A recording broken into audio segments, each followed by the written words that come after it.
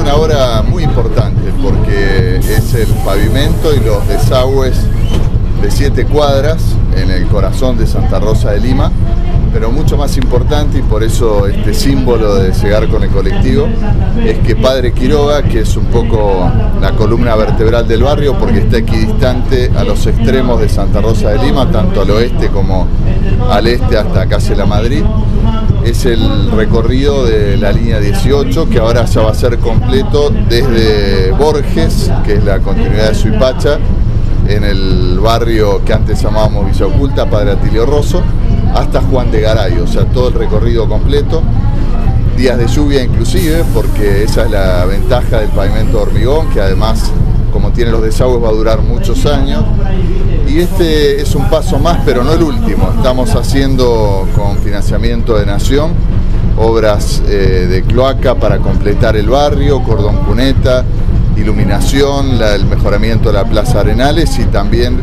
la mediateca, este lugar de la cumbia que vamos a hacer también sobre calle Tucumán.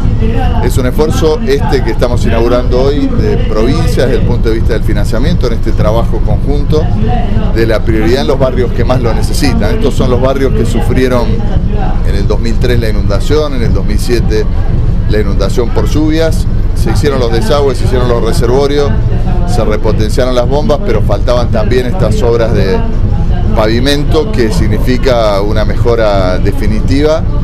para el recorrido colectivo en este caso y como decía un paso más eh, en el mejoramiento que no mucho tiempo vamos a tener en todo el oeste las mismas condiciones que se merecen todos los vecinos en toda la ciudad.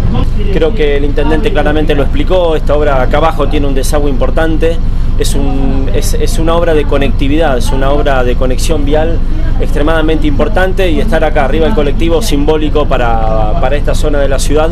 que cualquier vecino tenga acceso a tomarse un colectivo rápidamente. Nosotros como gobierno de Santa Fe, y lo compartimos junto al intendente, consideramos que es fundamental. Por eso el Plan Abre eh, tiene barrios priorizados y prioriza este tipo de obras.